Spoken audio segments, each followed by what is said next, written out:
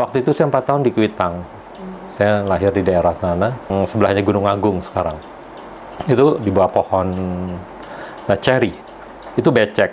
Jadi tanah selalu saya ambil dan, saya bentuk selalu binatang dan orang.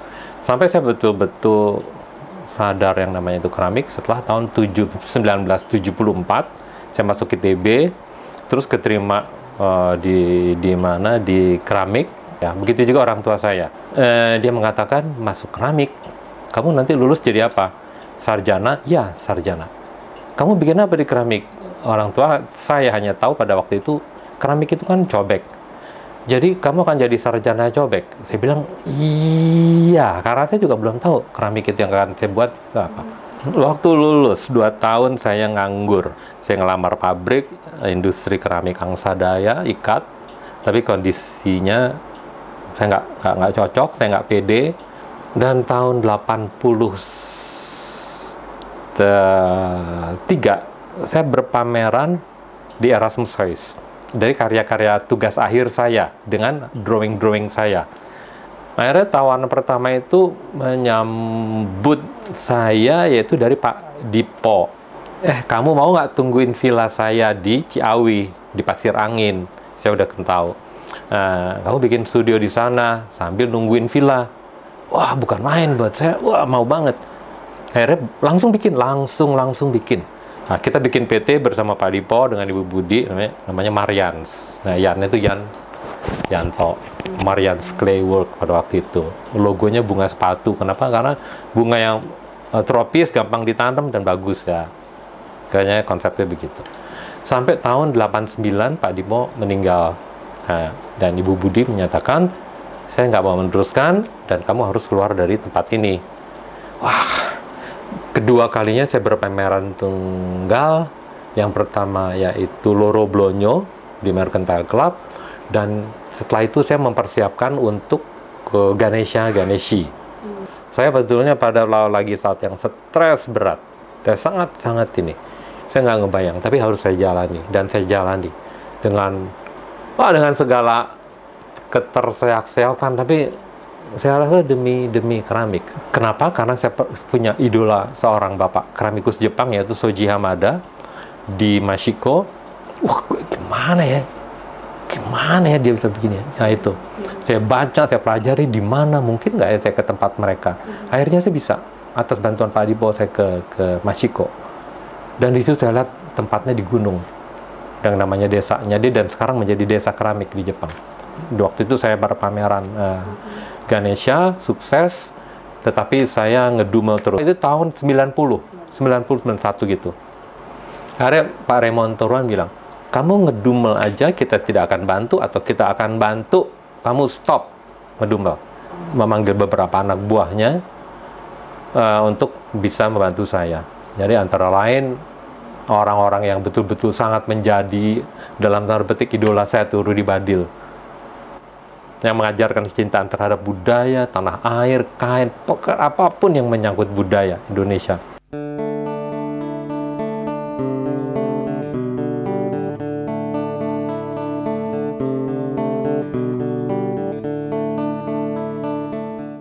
saya mengajar di KJ itu atas permintaan Mbak Hilda almarhumah.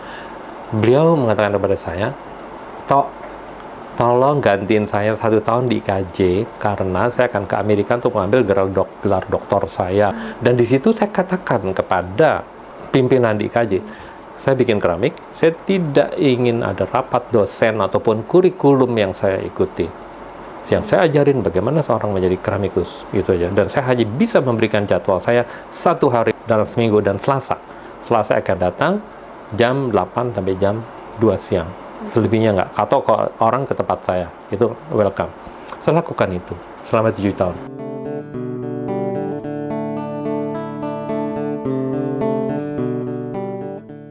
Saya kebetulan tahun 97 itu mulai di Ciganjur dengan sekolah dengan dengan keramik saya. Dengan dengan uh, ya rumah uh, konsep itulah. Itulah kenapa saya buka studio saya baik di Ganjur maupun sebelumnya di Tapos untuk memberi penjelasan kepada anak-anak kecil bermainlah seperti saya dulu. Cuman ini bukan pakai tanah bekecekan bekas hujan tapi ini clay udah saya siapin. Membentuk fun dengan tanah kotor gitu. Nggak cacingan. Dan bukan hanya digelilin gitu. Dan ini dibakar ada proses nanti ada sesuatu yang indah. Dan ini punya kamu ini yang saya ajar oleh karena itu saya kasih nama fun with clay jadi fun clay it's fun gitu dari hasil-hasil itu sebetulnya banyak nggak banyak tapi lumayan beberapa uh, anak kecil menjadi remaja yang betul-betul jatuh cinta. Tetapi kembali lagi kepada orang tua. Begitu mereka ingin menjatuhkan pilihannya, mereka ke tempat saya dan orang tuanya terus terang berkeberatan. Apa ya, boleh dibilang terus terang saya katakan menyedihkan. Ha, orang tua tidak memberikan kebebasan kepada anaknya dengan tanggung jawab, tetapi orang tua memberikan rasa ketakutan dan memilihlah jalan yang aman. Hmm. Jalan semua berbahaya. Kalau saya bilang bisa berbahaya. Dan yang penting anak harus tanggung jawab. Karena Migus di Indonesia baik dari segi apa uh, perupanya yang yang yang yang lulusan akademis mana gitu mana? Sekarang saya tanya ayo dong kalau anda ambil jurusan keramik mau di KJ mau di ITB mau di ISI mau di mana tekunilah begitu. Tekunilah. Saya percaya itu. Jadi kalau mau jadi itu harus berkorban dulu. Harus mau dan orang tua harus harus harus bisa menemani anaknya itu. Jangan anaknya lapar dikit dikasih, jangan anaknya ini ini dipegangin. Enggak jatuh itu harus bisa berdiri lagi. Nah, kasongan itu oke okay, dari segi dagang, tetapi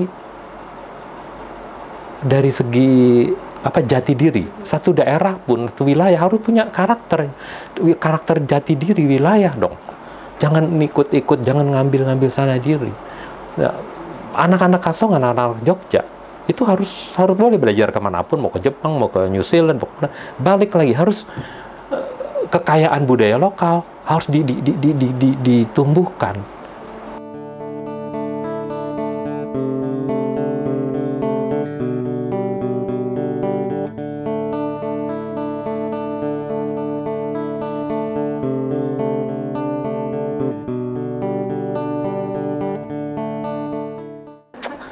yang dia mesti diurusin pemerintah tuh banyak banget ya. Seni ya juga sih. Tapi ya yang masyarakat yang lain yang lapar yang ini hukum juga lebih jauh lebih penting.